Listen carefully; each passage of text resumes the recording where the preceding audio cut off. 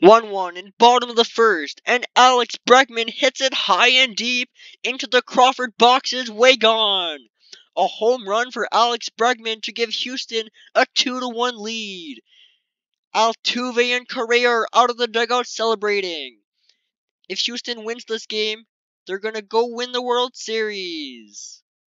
Wow, that was clutch. But let's take a look at when Alex Bregman dropped his bat after the home run. Was it right after the home run?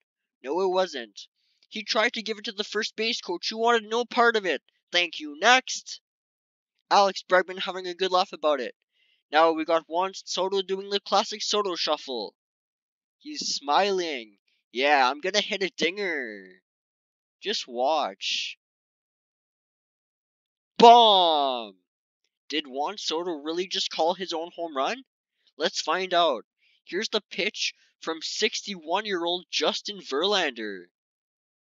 And Juan Soto absolutely demolishes it. Is it going to stay fair? Yes, it is. Into the Chevrolet Silverado section. Gerardo Parra is jumping for joy. Juan Soto rounding third. But when did Juan Soto drop his bat? Let's find out. He copied Alex Bregman and he tried to give it to the first base coach. Bregman and Soto. They both dropped their bat near first base. That's something Bartolo Colon does. The GOAT Bartolo.